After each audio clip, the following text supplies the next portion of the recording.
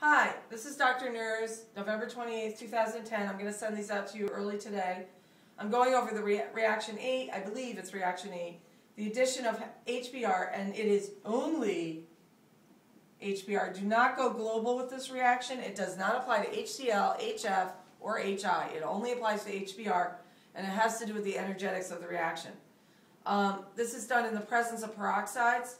It looks very much like a reaction you've already learned, the only difference being that there's peroxides and usually a little heat or a little light. Okay, that means light. All right, um, long ago, um, a number of research groups were finding that when they added HBr to alkenes, sometimes they obtained, um, or at least like one group was obtaining, Markovnikov addition, which we have learned about in some detail. I was going to say at nauseum, but we have not learned about it at nauseum. And um, other groups were finding they got the anti-Markovnikov product exclusively. When this occurs, that implies something's wrong, or something's right, as may be the case. But it implies that there's some contaminant or some condition that's different that's causing a different mechanism. So the fact that one group was getting anti-Markovnikov product, now what would that mean? That would mean the hydrogen would be at the, the more substituted carbon and the halogen would be at the less substituted carbon. Um, and um, the other group was getting Markovnikov, okay, hydrogen at the less substituted, halogen at the more substituted carbon. So this is kind of the general reaction. It doesn't look very different from what you've done. So let's write out what's happening here. And really the best way to learn mechanisms is to write them from your notes several times and to also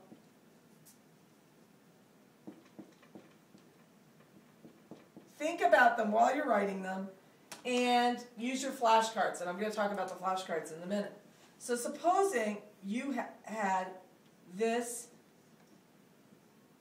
uh, this structure, okay, and you are adding HBr in the presence of a peroxide. Now, a typical peroxide would look more like this.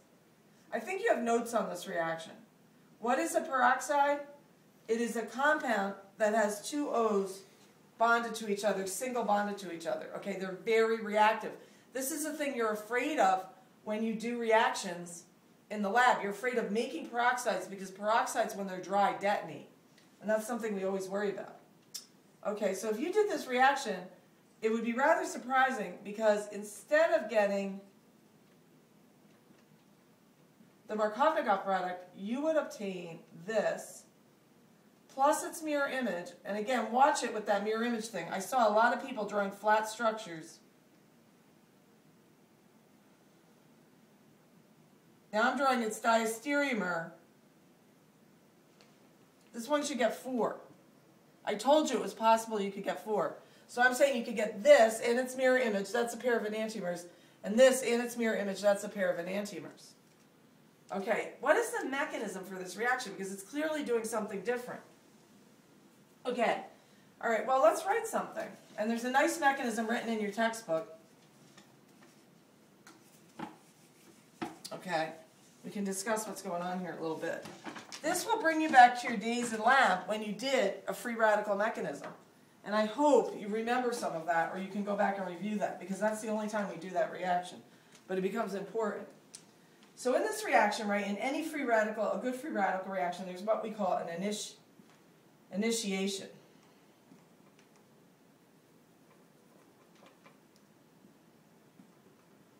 Now remember, what happens in an initiation? In an initiation, you make the original free radical for the reaction. So what this involves is a peroxide and in this case, it's a, a carboxylic acid type peroxide. Peroxides tend to have very weak OO bonds. They're on the order of like 50, kilo, uh, 50 kilocalories. That would be like 200 kilojoules.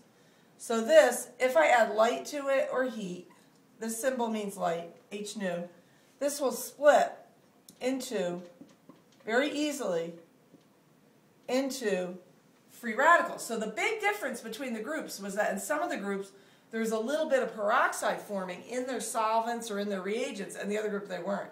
So basically, if you purify and get rid of these, these, these peroxides, you won't have any problem with the reaction. Okay, so then once you get this peroxide, there's actually two initiation steps. And you've seen this before because you've done this with AIBN. This is a radical. What are radicals looking for? They're looking for a bond and an electron. So what happens is this pulls the H off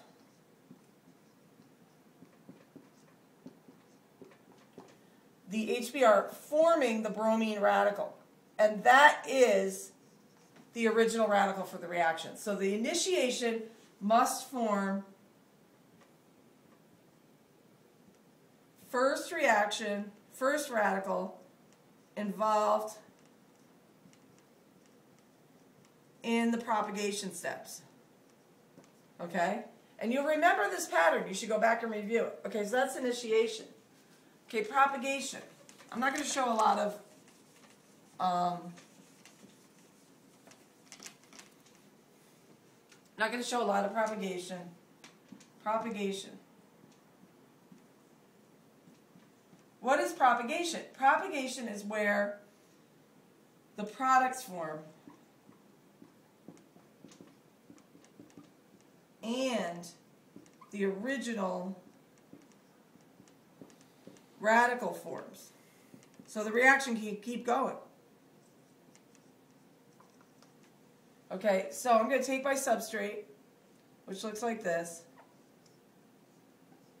and I'm going to add the bromine radical to it. Now this is kind of interesting because this is really, this is one of those reactions where it looks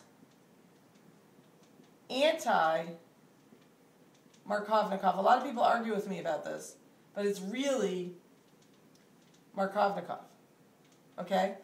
The reason is this is very definitely an electrophile.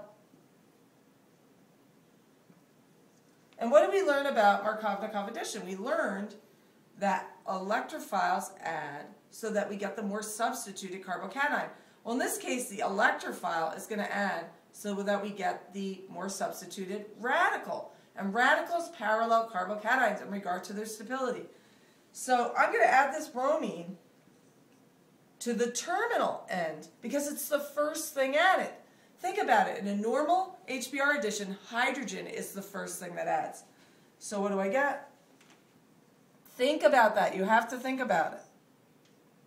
I get this radical and this bromine right there. Okay? Why is it better for the bromine to go there? I'm making a tertiary radical. This is also the rate determining step.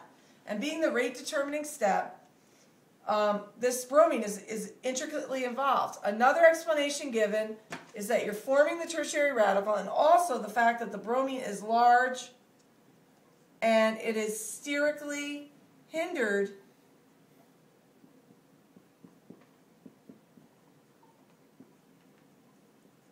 at the tertiary site. Okay? So it's doing two things. It's adding to form the more stable radical, the tertiary over the primary, and then it's adding because there's less crowding over here than there is in this area with all the branching. Okay, it becomes a radical. Radicals don't rearrange. Okay, you don't have to worry about that. Um, what's next? All right, well, the second propagation step involves taking the radical I just made. You're always in a good propagation. You're always making your products. Nine minutes. It's nine minutes already? Mm-hmm. So I'll finish this up quickly. You're making your product, but you're also making the original radix, radical. So in the second propagation, you would pock the H off an HBr and make your product. And then you would have to work out your stereochemistry. Okay? So in this case, you would get all permutations, but I'll talk more about that in class. I'm not writing terminal steps because terminal steps are kind of not important. Okay, thank you. How long?